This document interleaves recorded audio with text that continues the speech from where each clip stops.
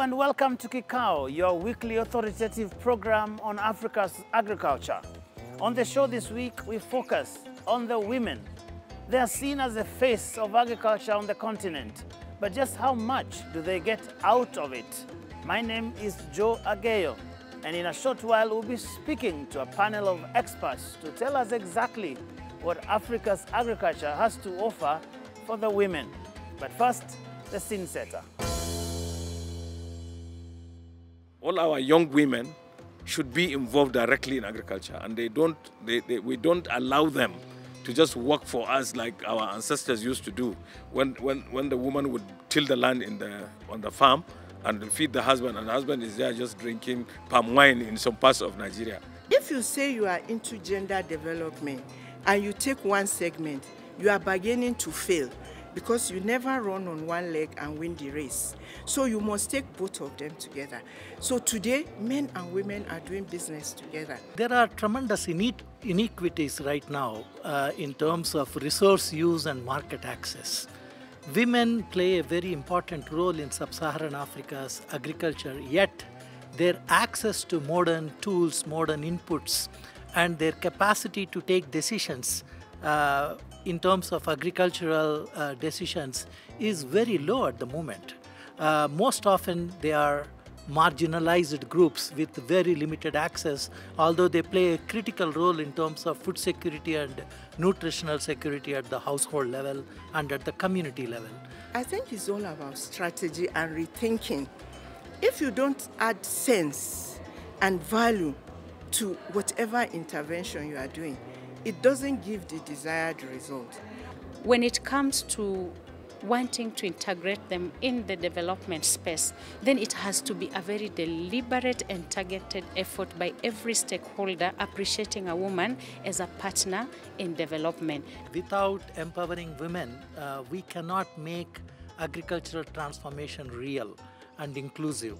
And wherever we have not done that in, in some of the continents, there have been cascading uh, downside effects of that. So, empowering women requires a much more gender disaggregated approach. Uh, we need to consider the voices and the opinions and the aspirations of women in multiple stages of value chain, not just at the terms of inputs and uh, farm management, but also decision making at the household level and community level and the national levels. I always like to start from the point where I think it's high time we don't see women as beneficiaries of development. They need to be seen as partners in development. Only then can we appreciate their efforts. involve them much more in terms of post harvest processing and value chain development and make them more financially uh, independent and provide them the resources, especially financial resources, to women to make them shift from this subsistence oriented farming towards market oriented farming. If you support one segment and you don't support the other, I don't see it as a complete development, and that is not what Africa needs. Let's now join Dr. Canisius Kanangire, the Executive Director of AATF, as he engages a panel of those who would know what ought to be the place of the African woman in agriculture.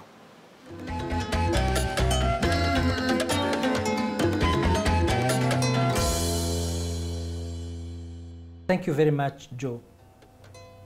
Uh, women make essential contributions to the agricultural and rural economies in all developing countries. Their role vary considerably between and within regions and are changing rapidly in many parts of the world where economic and social forces are transforming the agricultural sector. Rural women often manage complex households and pursue multiple livelihood methods.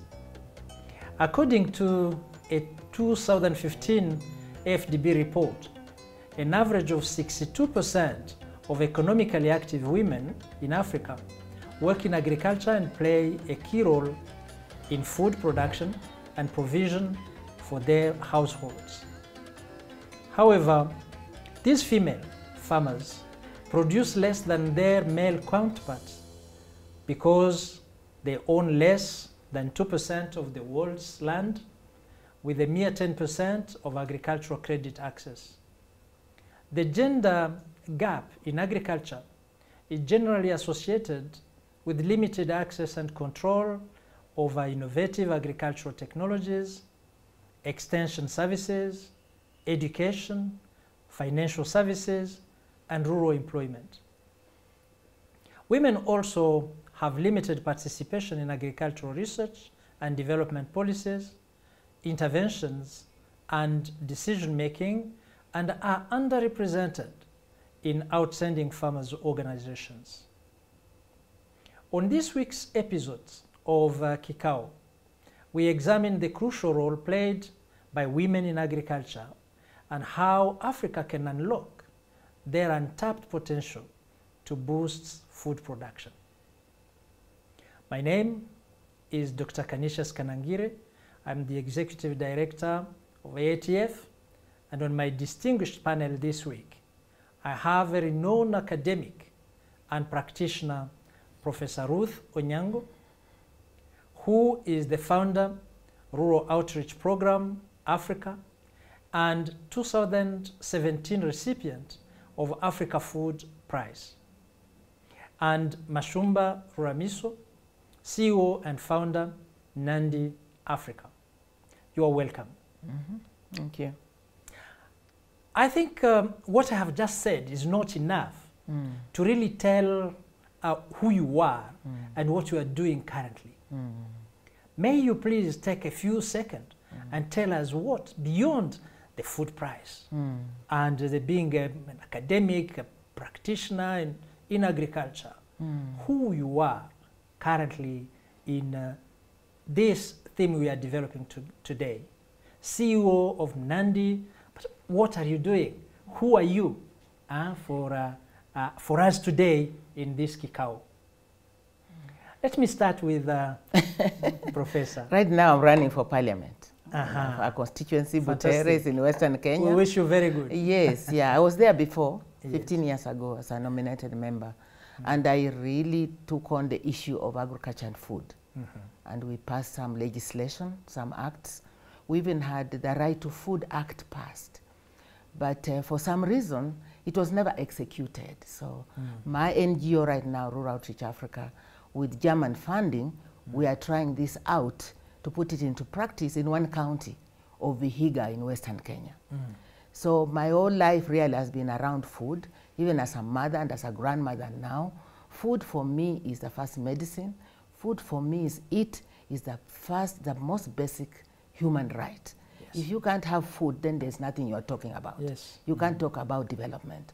And the reason why I prefer to focus on women is that, you know, we are the ones who worry about what everybody is going to eat. Mm. But we are forgotten completely. It's like the food issue is everybody's business because we want to eat, but it's nobody's Yeah. responsibility. I think it should be our Yeah. primary responsibility Exactly. to all of us Yes. because that is where you have the health issues uh, uh, addressed and uh, poverty. The real poverty is when you cannot Yes, yeah, uh, yeah. feed uh, your and your huge people correctly. potential for this continent, you know, but it has remained potential. I mean, I started working on Now this when, when I was below her age, and I'm aging now, and uh, you know, it's still the same issues we're talking about. There's something we are not doing right. Let's hear how she takes the button and, uh, Yes, yes. and now unlock the potential. And unlock it, Yes, yes, yeah. Ruramiso. Okay, thank you um, for that. thank you so much. Um, so for me, I am passionate about my community. I'm passionate about food security. I'm passionate about um, sustainable farming. You know, um, in Africa, a lot of us we have been farming, like she mentioned, and um, still the results you can't see in many areas. There's still food insecurity, there's still hunger, there's still poverty, and I believe that we haven't really harnessed technology enough. So I'm a champion for sustainable farming. I'm a champion for looking at different farming in a way where we're incorporating knowledge, local knowledge, and also teaching our farmers how to farm better. My organization, Mnandi Africa, um, that is what we, we do. We support women on the farm, um, access knowledge, because something I realized as a farmer myself is that there isn't access to knowledge for women farmers on the ground, sometimes in local language. Um, you find that a lot of these women are left behind because um, they would not have uh, the same education. So it's now looking at how can we educate women farmers to be able to understand farming in local language, in easy methods, and also demonstrating and pushing the importance of conservation farming. Um, this is also using of no-till um, equipment, the importance of even like right now, um, like you mentioned, we are going through so many challenges, some of them geopolitical, where even fertilizer prices are uh, triple. What other methods are there that we can use in order for us to still remain sustainable? I, I think that is very interesting. Uh, we need to be concerned about food and uh, make sure that food is available for our, our people, and we cannot produce it if we don't uh, uh, look at the method to produce sustainably and also use knowledge and technology. I think it is very good. Now let's come to the, the African uh, landscape.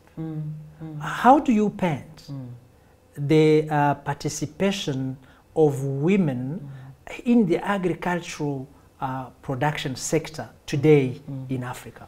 Mm-hmm. They do all the production. They worry about what everybody else is going mm-hmm. to eat, mm. but they are kept away from decision making, from policy making. They are kept away from the money. And you know, I've been around enough to know all the conferences that take place, and then resources are committed to Africa. Sometimes they call me. They say, Ruth, aren't you happy now? I say, no, until I see it on the ground, mm. until I see it on the smallholder farmer, mm. and until I see it on the woman farmer. And let me also say that it's not in the whole of Africa that you have women only farming on the ground as smallholder farmers. I've been to other countries specifically where it is man and woman also farming. So it all depends on the cultural setting, but to a large extent, yes, it is woman, but you know, everybody else eats, but the woman does the work. So I think we, we just do too much talking. Yeah, mm. ED. We do, mm. it's just too much talking, but very little action. I can tell mm. you that as, a, as someone who has been in this sector for a long time.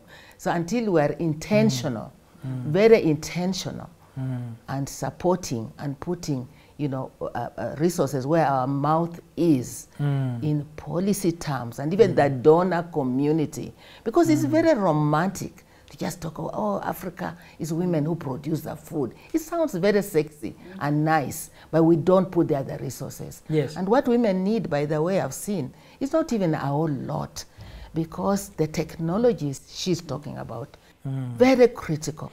The knowledge transfer, it needs to be done in a way that suits the woman. That suits the woman. She cannot be leaving her home, going to some center, to some training, staying there for three days. What meantime is happening to her family? Because she's the primary nurturer. And we have to put that into account. Yeah, Yeah. and I don't see that having Yeah. happened. Yeah. Uh, uh, Professor, you said um, women are on the the, the shamba, the farm, the- Yes. the, farming land. Yes, yeah. They, they do all the work. Yes, yeah. And indeed, we know they contribute to very, very, uh, actually, very much a, a huge contribution to food production. Yes, yeah. They are also in food uh, processing, in uh, um, food, um, I mean, how do I call it? Uh, selling food and Yes, uh, yeah, wood. yeah, yeah. So they are in all those Trading, different yes, area, yeah. areas. They l- work a, a lot. But what we know is that at the end of the day, they are not uh, necessarily the prime beneficiary of what comes from the, uh, The farming, of, yes, the farming uh, agric- uh, farming business. So this is the situation. Why is that that way?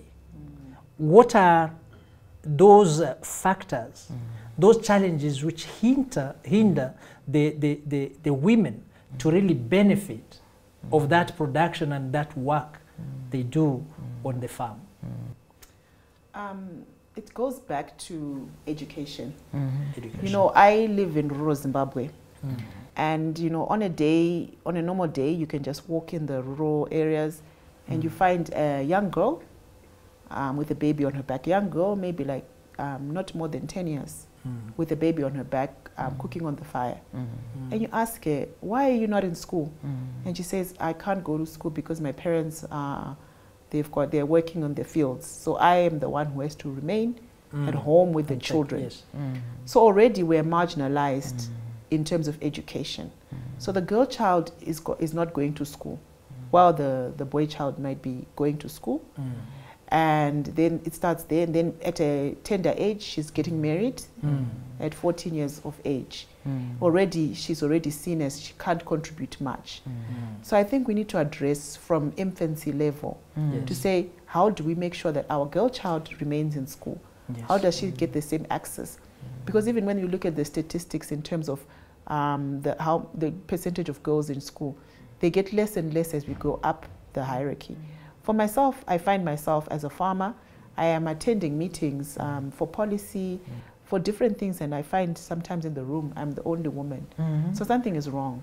So until we start making sure that we have more women, women on the table, and we see it as normal. You know, like in our culture, I remember like just having a conversation with other, as a young person myself, even my other, my, you know, other young farmers who are men, when we're having conversation, they still feel that there's nothing wrong. So mm. until we and we up, we say to ourselves, there is something wrong.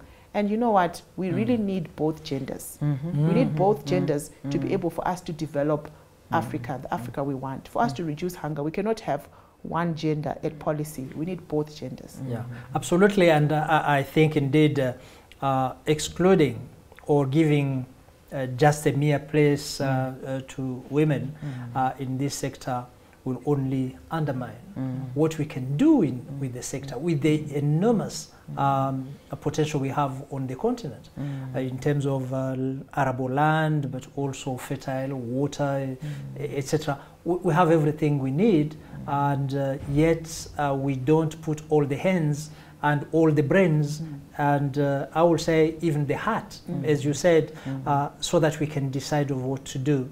And uh, I, I think, uh, uh, as uh, Ruramiso said, it, it starts from down there. We need to empower uh, the uh, future women. At the same time, we empower the future men, so that at the end they play the same uh, role and benefit equally of what we can do. I, I think uh, uh, it, it is very critical, and we need to take uh, um, some decisions or influence some decisions so that we can change that from, from the root uh, cause, which is that inequality uh, from the tender age. But when we come, let's take a break. When we come, we look at what we need to do to improve the situation indeed.